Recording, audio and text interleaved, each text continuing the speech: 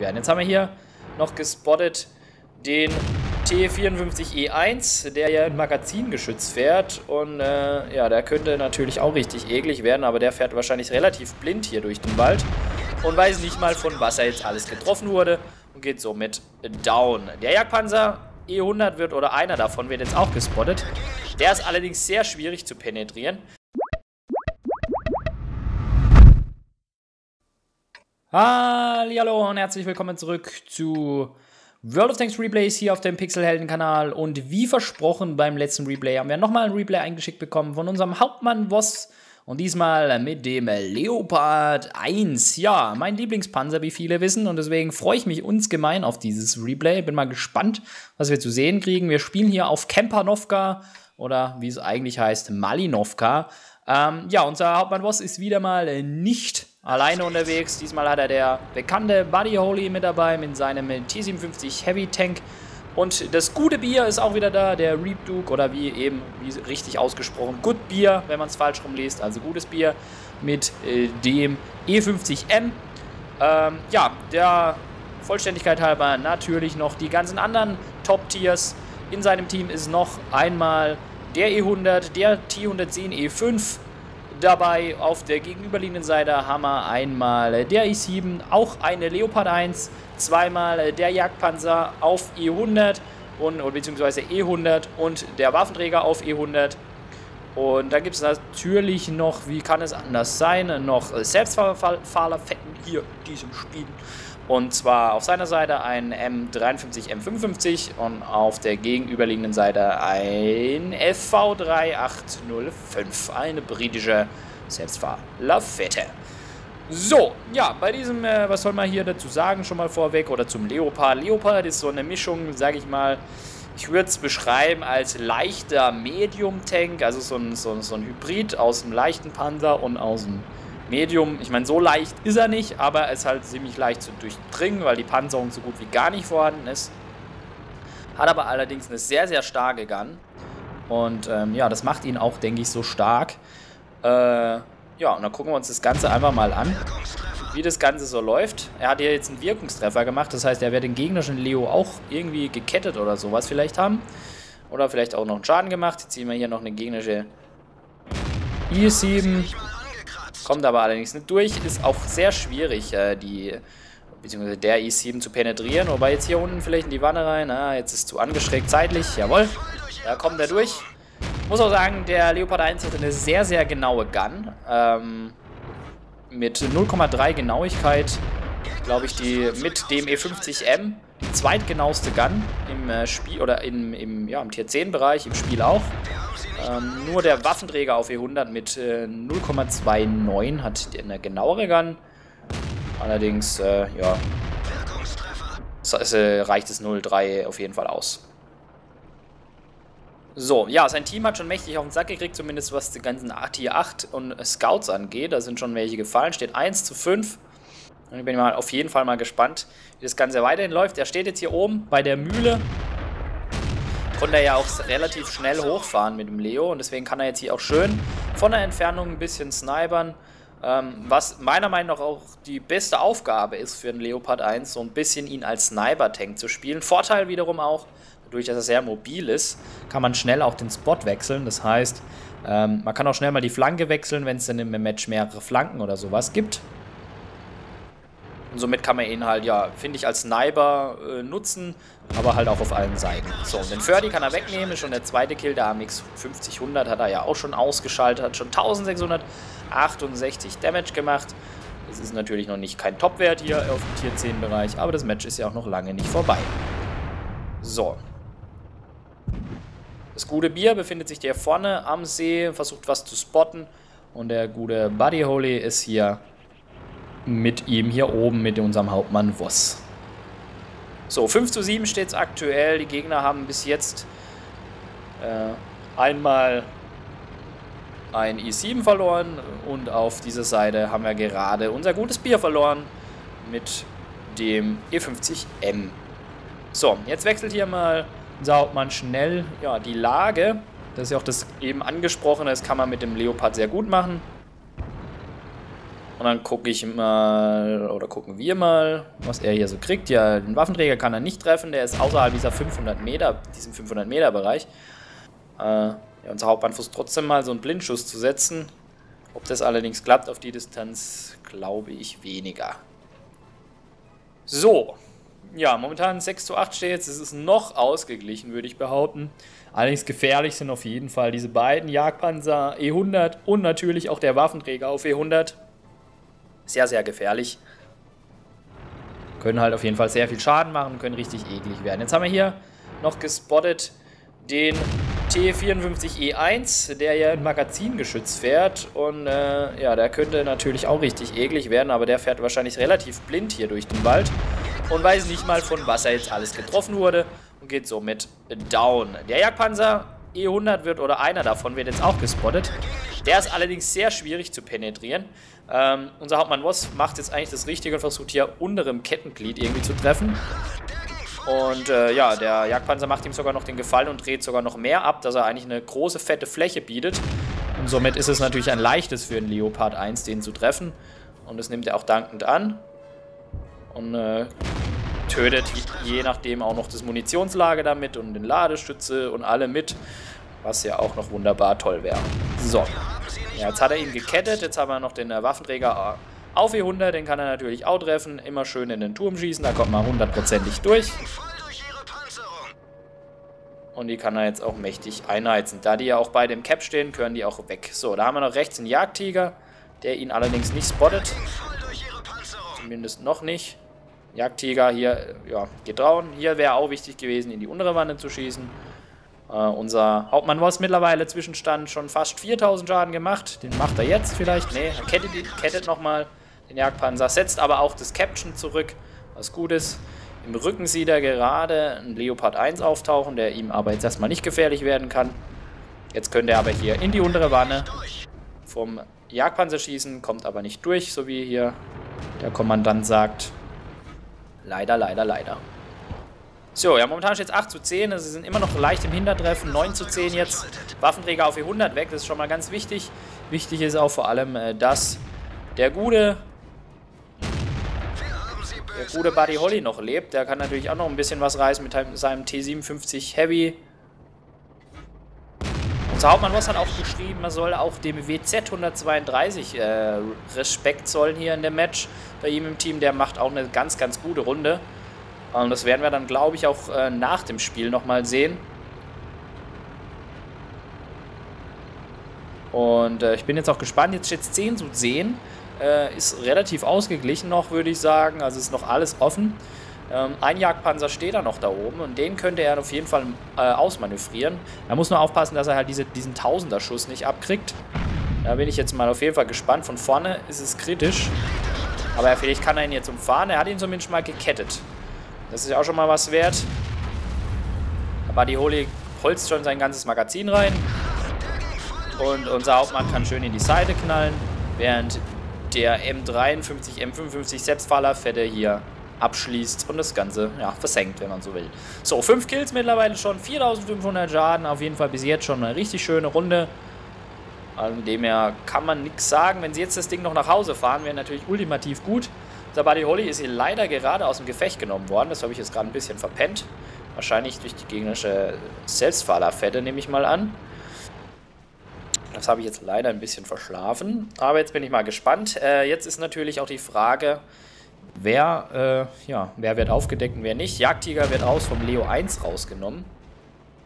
Jetzt bin ich auf jeden Fall mal gespannt. Der WZ hier versucht jetzt zu scouten, während unser Hauptmann Voss hier ein paar Blindschüsse setzt. Vielleicht treffen die ja auch, man weiß es nicht. Zumindest war das hier gerade die letzte Position vom T28. Gefährlich wird auf jeden Fall jetzt der gegnerische Leopard, der wahrscheinlich auch nicht leicht aufzudecken ist. Der natürlich auch eine super genaue Gun hat. Zusätzlich muss man aber auch sagen, dass unser Hauptmann Ross sehr gut spielt, hat hier immer noch die volle Health. Ähm, und das ist auch sehr wichtig beim Leopard, dass man die lange behält, weil das ist auch der einzigste Puffer, den man hat. Nämlich die Health. So, und da sieht man auch, wie genau die Gun ist. Da reicht auch ein bisschen nur vom Gegner zu sehen, kann man ihn treffen. Der T28 hier schon mal einmal eine schöne Breitseite gegeben. Und jetzt haltet er inne. So wie es aussieht. Mehr wird noch nicht aufgedeckt. Der WZ deckt auf jeden Fall noch nichts weiterhin auf. Momentan ist es auch sehr, sehr eng. Also momentan sieht es eigentlich auch besser für das gegnerische Team aus, weil die halt einfach noch zwei TDs haben äh, und ein Medium. Allerdings, äh, ja, ist noch nichts entschieden. Es steht 11 zu 12 und äh, das Match läuft noch. Unser Hauptmann Voss macht jetzt auch der Map alle Ehre und campt ein bisschen, was aber allerdings auf jeden Fall richtig ist, hier mit dem Leo, hier nicht nach vorne zu fahren und sich unnötig irgendwelche Treffer einzuhandeln bin auf jeden Fall mal gespannt, ob der WZ jetzt hier nochmal was für ihn aufdecken kann. So, der WZ äh, soll auf die andere Seite fahren, schreibt der T110E5, was er dann jetzt auch anscheinend vorhat. Ich bin mal gespannt. Der Leopard 1 schaltet den M53, M55 aus. Also der Leopard 1 muss hier oben irgendwo sein. Anders kann es nicht sein. Sonst würde, äh, ja, er nicht die ganze Zeit irgendwas killen können, ohne dass der Leo aufgedeckt wird. Der T28 hat jetzt aber hier unseren Hauptmann Ross aufgedeckt, deswegen muss er aufpassen, dass es nicht gleich der andere Leo kommt. Wunderschöner Treffer auf jeden Fall vom Hauptmann Ross. Da sieht man halt die Leo gar nicht sehr genau und das ist auch sein Riesenvorteil.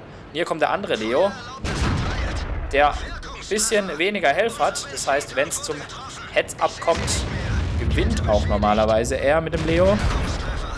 416 Schaden gemacht, 6000 Schaden schon mittlerweile insgesamt, also richtig krass gute Runde.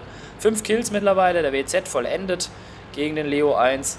Jetzt haben sie da vorne den äh, T28, aufpassen muss er jetzt aber vor allem, unser Hauptmann was, finde ich, vom Waffenträger auf Panzer 4, von dem man immer noch nicht so genau weiß, wo er aktuell gerade steht. Vom T28 ist klar, der wird hier irgendwo sein. Der WZ wird ihn jetzt wahrscheinlich umrunden, oder versucht es zumindest. So hat es zumindest den Anschein. Bin auf jeden Fall mal gespannt. Ja, der T110 will das ein bisschen hier navigieren, hat aber auch nicht Unrecht. Äh, sie sollen jetzt den T28 zusammen töten, was alles nicht, nicht so schlecht ist. Und hier wird jetzt der Waffenträger aufgedeckt.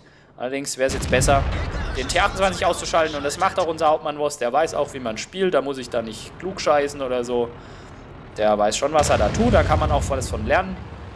Vor allem alle Leute da draußen, die einen äh, Leopard oder Leopard-Prototyp fahren. Hier ist wohl das beste Lehrvideo, wie man so ein Leopard fährt. Vorsichtig, genau immer mit dem richtigen Abstand zum Gegner. Und jetzt kann er ihn auch hier schön umrunden, den Waffenträger. Es kann allerdings sein, dass der Waffenträger rausfährt, genau. Und jetzt macht er nochmal einen Schlenker. Der WZ kommt von hinten. Der spielt auch mit. Vielleicht könnte er jetzt auch nochmal einen Treffer setzen. Ja, jetzt kriegt er leider vom Waffenträger nochmal eins ab. Der braucht aber deutlich länger zum Nachladen. Das heißt auf jeden Fall, dass unser Hauptmann auf jeden Fall nochmal eine setzen kann. Jawohl, und der WZ hilft auch raus und somit kann er den ausschalten. Macht den siebten Kill, 7016 Schaden. GV trifft zwar auch noch, zum Glück nicht komplett. Ähm, unser WZ-Spieler schreibt jetzt auch gute Arbeit, Leopard. Kann man aber auch zurückgeben an den WZ, der ja auch eine gute Arbeit macht. Ja, und so macht das Ganze Spaß. Der T110 hat auch nicht abgeschaltet, hat ein bisschen unterstützt, noch ein bisschen Kommandos gegeben. Manchmal, wenn man auch schon tot ist, macht es auch Sinn, weil man einfach einen kühleren Kopf hat, wie die Akteure, die jetzt hier gerade fahren. Manche, bei manchen pumpt ja das Herz und dann geht gar nichts mehr. Und deswegen ist manchmal gar nicht so schlecht, äh, wenn da draußen jemand steht. So, der Holly meldet sich auch nochmal und sagt, der WZ soll, soll äh, dem Leo den Kill lassen, damit er hier die Red, Redley Walters Medaille noch einstreichen kann. Da bin ich ja mal gespannt, ob er das auch noch schafft. Verdient wäre es allemal mit 7000 Schaden. Und irgendwo müsste jetzt der WZ stehen. Und kabum! Und da ist er weg. Wunderbar, 8 Kills, Redley Walters Medaille. Herzlichen Glückwunsch an unseren Hauptmann Voss. Da ist auch die Runde fertig. Dann gucken wir uns das Ganze auch gleich mal an. Hat hier den Leopard 1 gemeistert. Und da muss ich auch sagen, da muss ich hier meinen imaginären Hut ziehen. Ich habe ja den Leopard 1 schon sehr, sehr lange und ich habe schon viele gute Runden mit dem Leopard 1 gefahren. Aber gemeistert habe ich diesen verfluchten Panzer leider noch nie. Ähm, da muss man einfach, beim Leo muss man auch dazu sagen, man muss viel Kills machen, viel Schaden machen. Und es hat unser Hauptmann Voss gemacht. Und deswegen hat er hier auch gleich vier Medaillen eingestreicht. Einmal die, wie gesagt, die Redley Wallace Medaille für acht Kills oder mehr. Dann einmal den Großkaliber, den Krieger für sechs Kills oder mehr. Und dann natürlich noch den, ja, den Panzersniper für irgendwie, wenn man über 300 Meter den meisten Schaden gemacht hat. Was ja mit dem Leopard 1 auch gut möglich ist. So, ja, man sieht auch hier, die Liste ist relativ lang, was er hier alles getroffen hat. Ich glaube, wenn er noch ein Panzer mehr getroffen hätte, hätte, er sogar wahrscheinlich noch den Unterstützer bekommen. Den hat er aber nicht bekommen, den hat wahrscheinlich jemand anders bekommen. So, schauen wir das Ganze im Teamscore einfach mal an. Und dann sehen wir auch, verdient steht hier nicht unser Hauptmann Ross ganz oben. Wollte ich schon sagen. Nein, der WZ steht ganz oben. Äh, und das sieht man auch mal, wie wichtig äh, der WZ war. Der hat nämlich hier auch 3377 Schaden gemacht als ähm, Tier 8er hier. Ist richtig stark unterwegs mit 1349 einfacher Erfahrung. Zwei Kills, hat auch zwei Medaillen gekriegt. Und äh, ich kann das jetzt sehen, ihr könnt es leider nicht sehen. Und eine davon war tatsächlich ähm, die, der, der, der, der Unterstützer. Und dann noch der Aufklärer hat er auch noch gekriegt. Und das ist auch, wieso er so viel äh, Erfahrung hat. Er hat nämlich ganze 4373 ähm, Erfahrung, äh, beziehungsweise heißt Erfahrung, Schaden durch Aufklärung gemacht. Plus eben diese 3377 äh, selber Schaden gemacht. Äh, das heißt, deswegen kriegt er auch so viel Erfahrung. Das ist auch viel wert, da muss man auch ganz klar sagen. Ähm, und deswegen ist es auf jeden Fall richtig, richtig top. Unser Leopard 1 natürlich hier mit Hauptmann aus 8 Kills, 7451 Schaden. Naja, da kann man auch nicht nichts dagegen sagen. 7000, über 7000 Schaden auf Tier 10. Das ist egal, mit welchem Tier 10 das ist top. Außer vielleicht mit einem Waffenträger, da muss das mittlerweile, glaube ich, schon Standard sein. Nein, Spaß, auch nicht, aber trotzdem richtig gute Runde. Ähm, ja, im Gegnerteam, die möchten wir natürlich auch nicht verschmälern. Gab es da auch einen richtig starken Spieler? Ich möchte sagen, eher nicht. Eher alles normal. Gut, die Selbstfallerfette mit 3097 Schaden ist jetzt auch nicht der schlechteste gewesen, aber ansonsten ist da keiner so wirklich rausgestochen und somit denke ich mal, gerade der WZ und der Leopard 1 im Zusammenspiel haben das Ganze ganz schön verdient gemacht. Und ja, schauen wir das Ganze detailliert an. Unser Hauptmann Voss hat 37 Schüsse abgegeben, 32 Mal hat er getroffen, dafür 29 Penetration, hat wie gesagt 7451 Schaden gemacht, hat selber drei Treffer erhalten, wovon leider auch alle drei durchgegangen sind. Ähm, hat äh, ein Gegner nur aufgedeckt, dafür aber 14 Gegner beschädigt. Wie viele Gegner hat man nochmal in einem Match? 15, oder? Hm. Das heißt, er hat alle Gegner angeschossen bzw. beschädigt, außer einen. Das ist schon eine krasse Leistung, oder? Und ich muss auch sagen, dass äh, Malinovka auch eine richtig gute Map für den Leopard 1 ist. Also ich habe auch schon viele gute Runden auf dieser Map gehabt, weil man einfach auf der Map viel besser die Stärken von dem Panzer einspielen kann. Die Maps sind ja auch im Allgemeinen bei World of Tanks viel zu klein für den Leopard, weil der Leopard wirklich mehr in die Richtung Sniper geht. Den muss man aus der dritten, vierten Reihe spielen und dann eben die Mobilität hat, äh, schnell auch die Flanken zu wechseln. Im Nahkampf hat er einfach keine Chance, gerade auch gegen andere Mediums auf seiner Stufe hat er keine Chance, weil die alle schneller schießen, besser gepanzert sind. Das ist das Problem. Der große Vorteil vom Leo ist, wie gesagt, die Mobilität, schnell die Flanken zu wechseln, seine sehr genaue Gun und der Alpha-Schaden, den er macht, also den Schaden mit einem Schuss, äh, für ein Medium auch sehr, sehr gut ist. Ähm, ja, das zeichnet den äh, Leopard 1 aus und wie gesagt, da gibt es wenig Maps, wo man das gut umsetzen kann. Wie gesagt, auf Malinovka kann man das ganz gut machen. So, wo waren wir stehen geblieben? Ja, eben 14 Gegner beschädigt, 8 davon zerstört, hat äh, 1475 Schaden durch Aufklärung gemacht, ist auch nicht schlecht und ist 4,19 Kilometer gefahren. Ja, er hat 93.931 äh, Credits eingespielt durch die Munition, die natürlich viel gekostet hat. Ihr seht schon 37 Schüsse äh, ausgegeben, hat er 29.509 Credits Bonus gemacht. Erfahrung eingespielt hat er 1773 äh, durch den ersten, Fach, ersten Sieg des Tages, boah, Zungenbrecher, hat er 3546 Erfahrungen eingespielt, somit das Ding auch verdient gemeistert. Und da kann ich auch sagen, noch nochmal, ich ziehe meinen Hut, geile Runde, hat Spaß gemacht zuzuschauen. So, liebe Freunde, eigentlich wären wir jetzt am Ende, aber ich habe mir gedacht, nö, Leopard 1 kommt, da habe ich doch auch noch ein Replay. Und äh, das schauen wir auch uns jetzt gleich an. Und ich möchte im Vorfeld jetzt auch gar nichts groß dazu irgendwie sagen. Das sage ich dann einfach gleich, wenn wir in der Runde sind. Bis gleich. So, ja, und da sind wir auch schon im Replay von äh, ja, meiner Person. Und äh, ja, wie der Zufall so will, war der Hauptmann Woss bei uns auch hier mit im Zug. Mit dabei noch der Starkiller. Ähm, also ja, der Hauptmann Woss nicht ganz weit weg dann. Äh, hier ist er allerdings mit dem 113 unterwegs und der Starkiller mit dem AMX 50B. Wie gesagt, ich mit dem Leopard 1. Ja, und diese Runde kann man jetzt nicht vergleichen mit der Runde gerade eben. Ähm, klar, so eine krasse Runde habe ich, wie schon gesagt, noch gar nicht hingekriegt. Ich habe den Panzer immer noch nicht gemeistert. Aber bei dem Match möchte ich einfach mal sagen, da geht es um was ganz anderes. Erstens, ähm, Erstens ist es so, dass man ja, wenn man jetzt ein bisschen auf X4M achtet, also ich mache jetzt hier mal äh, den Tab offen, äh, oder ja, dann sieht man halt, die Gegner haben eigentlich, wenn man X4M nimmt, das bessere Team. Und wenn man jetzt auch gleich am Anfang drauf achtet, ihr seht schon, unsere ganzen Heavys und die ganzen, die fahren hier lang. Und bei Ellerloof ist es eigentlich so, dass die meisten Heavys immer hier sind. Ja, und ihr könnt auch denken, wo die Gegner hinfahren werden, nämlich hier hin. Und das heißt, die werden die Seite relativ, relativ schnell überraschen. Überraschen. Also überraschen und überrushen, ja. Englisches Wort. Wie auch immer. Jedenfalls ist es so, ich werde natürlich mit dem Leo auch nicht darüber fahren, sondern ich werde natürlich auf der Seite bleiben. Und ähm, ja, da, dazu möchte ich einfach nur sagen, oder was man in dem Match zeigen will, oder was ich damit zeigen will, ist einfach jetzt schon mal im Vorfeld. Man soll nicht immer gleich alles aufgeben. Also es wird so sein, dass wir deutlich schnell auf die Fresse bekommen von den Gegnern. Die Gegner sind auch stark. Aber lasst euch nicht immer von diesem X4M beeinflussen. Lasst euch auch nicht immer äh, beeinflussen, wie es momentan da oben steht. Gut, momentan führen wir sogar.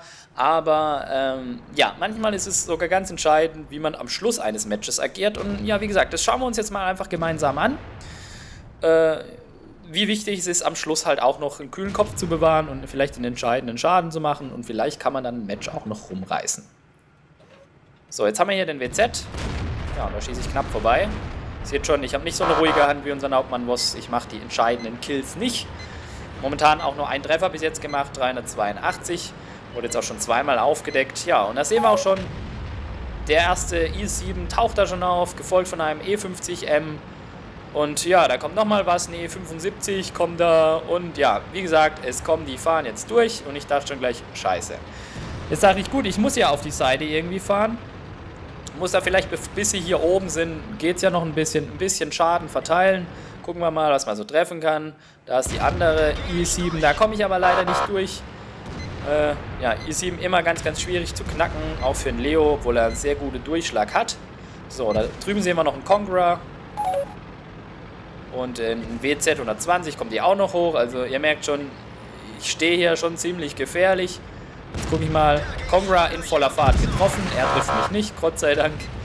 Ähm, das ist halt auch so ein Vorteil ein bisschen vom Leo. Der kann auch in voller Fahrt treffen. Und ihr seht schon, hier schlagt es überall ein. Ich bin aufgedeckt, muss ich aufpassen. Jetzt gucken wir mal, ob wir den 110 vielleicht treffen können da hinten. Ich bin wieder aufgedeckt. Also verschwinde ich gleich wieder. Gleich jetzt noch die i7 eine rein. Nee, klappt auch nicht. Also ihr merkt schon, es läuft hier nicht so gut.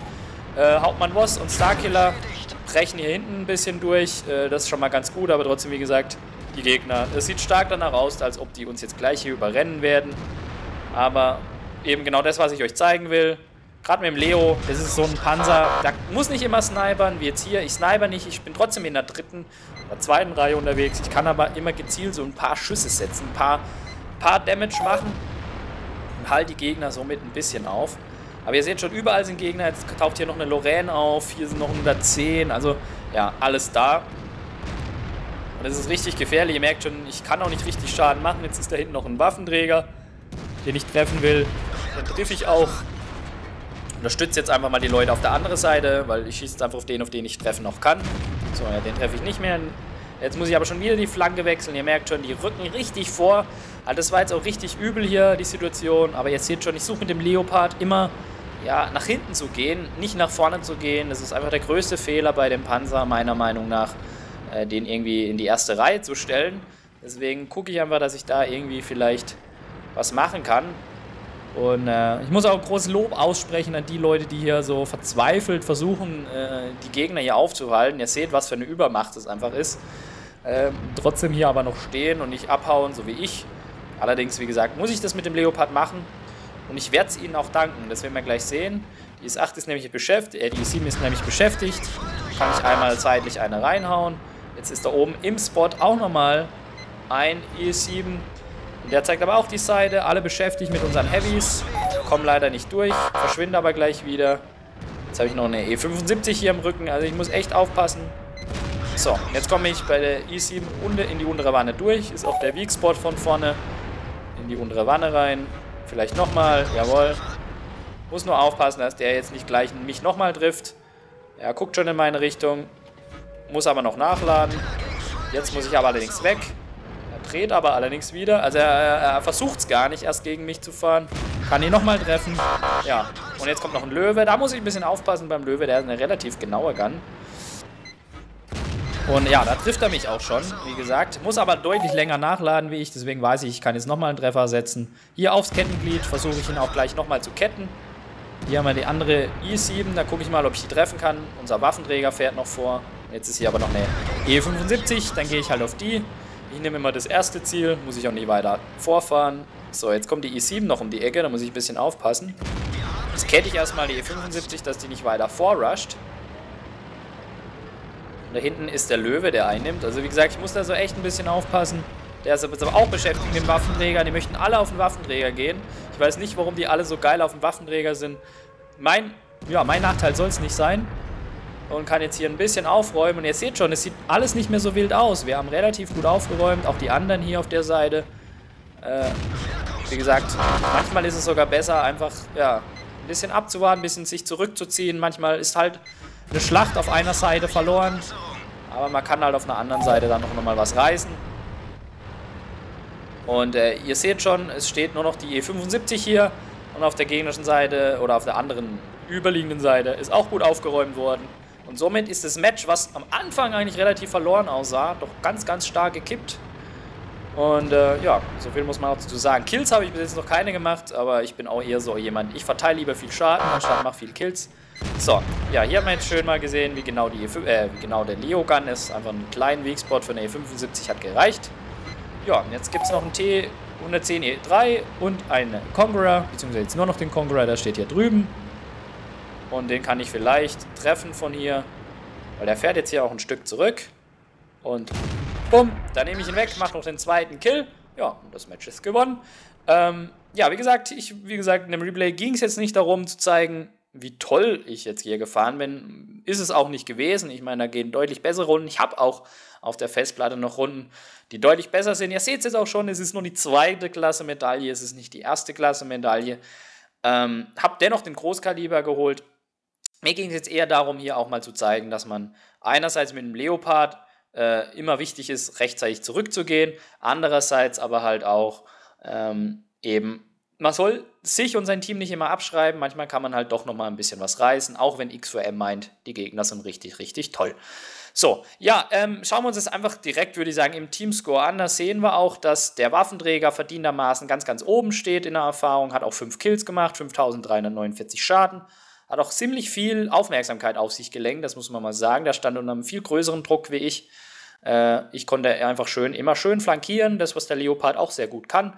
Steht dann auch verdient, meiner Meinung nach, an zweiter Stelle mit 1018 Erfahrungen, macht zwei Kills, macht auch den meisten Schaden im Match mit 6154. Ist, denke ich, auch ganz okay. Ähm, ja, also sieht eigentlich alles ganz gut aus. Bei den Gegnern hat keiner so richtig viel Schaden machen können, auch wenn das alles gute Spieler waren. Also es lief, denke ich, ganz, ganz gut dann am Ende noch.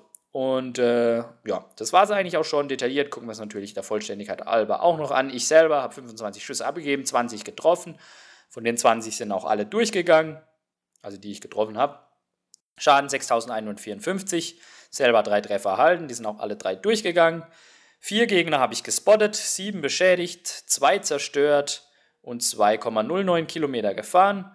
Credits habe ich 82.447 äh, eingespielt. Äh, mit den ganzen Abzügen mache ich am Gewinn am Schluss von 39.810 Credits. Erfahrung waren es 1527 mit Premium. Äh, plus nochmal Bonus, weil da irgendwie so eine Aktion ist. Wenn man zu den besten drei Spielern gehört, kriegt man ja nochmal mehr. Also komme ich dann am Schluss auf 1908 Erfahrung und somit war das am Schluss eigentlich eine ganz, ganz coole Runde. So, ja, jetzt sind wir aber wirklich am Ende äh, für die heutige Folge. Wie gesagt, zwei Leo-Replays. Einmal das schöne Replay vom Hauptmann Voss. Vielen Dank dafür nochmal. Und einmal halt dieses Replay habe ich jetzt einfach mal dazugehangen, äh, weil ich einfach fand, auch in dem Moment, als ich die Runde gespielt habe, äh, dass es doch eine sehr ansehnliche Runde ist, weil, wie gesagt, man so ein Match nicht vorab schreiben soll. Manchmal kann man doch nochmal ein bisschen was reißen. So, ja, das war es jetzt aber äh, heute endgültig und dann sehen wir uns die, unter der Woche wieder beim Together. Und wenn alles normal läuft, ich verspreche es nicht, aber wenn alles normal läuft, seht ihr auch die Woche den ersten Part von, vom Event von äh, Tanks vs. Zombies, was wir gespielt haben mit ganz, ganz vielen Leuten. An der Stelle kann ich auch noch mal sagen, vielen, vielen Dank an alle Teilnehmer. Äh, war echt geil, hat richtig Spaß gemacht und es macht echt Lust auf mehr Events. Und wir werden auch gucken, dass wir schnellstmöglich das nächste Event auf die Beine stellen. Also an dieser Stelle nochmal gedankt an euch alle. Und wie gesagt, wenn es klappt, kommt die Woche auch der erste Part von dem Event raus. Ich werde es in ein paar Parts aufteilen, ein, zwei, drei Parts, weiß noch nicht. Ähm, schauen wir mal. Und ansonsten kann ich nur sagen, sehen wir uns, hören wir uns am Samstag wieder beim nächsten Replay. Da kommt 100 Pro auch wieder was ganz, ganz Cooles zustande. Und ja, ansonsten kann ich nur sagen, haltet die Ohren steif. Bis dann, euer Ray. Ciao, ciao.